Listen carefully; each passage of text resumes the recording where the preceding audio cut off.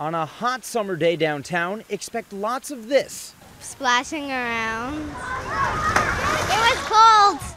The Crown Fountain's faces staring down on crowds, spitting every few minutes on eagerly waiting kids. That's what happens outside the fountain.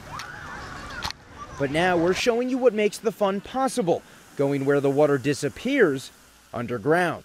We're actually standing underneath the north tower of Crown Fountain. The water is flowing down from above us at Crown Fountain, down through these large pipes, through this filter unit, and then it is being drawn through this pumping unit that you see right here. Millennium Park Foundation Executive Director Scott Stewart says along the way the water is chlorinated and pH balanced. Simply because people play in the Crown Fountain. We lose water through evaporation and, and drips and drain, and this freshwater supply tops off the total amount of water every day.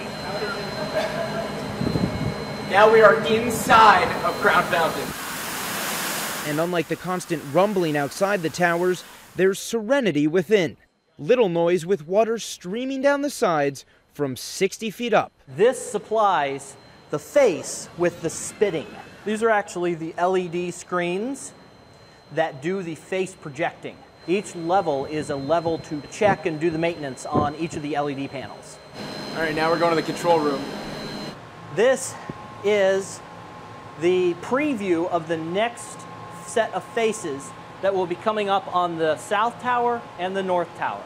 This computer system is focused on rotating through these 1,000 faces. These faces were hand selected based upon a large pool of volunteers. They're all Chicagoans. They're hand selected by the artist, Jaume Plensa. You'll never see the same face on the North and the South Towers. However, no matter what the faces are on the North and the South Towers, they both spit at the same time keeping Chicago cool all summer long. In Millennium Park, Jesse Kirsch, ABC 7 Eyewitness News. Hey, if you like that video, be sure to subscribe to our ABC7 Chicago YouTube channel.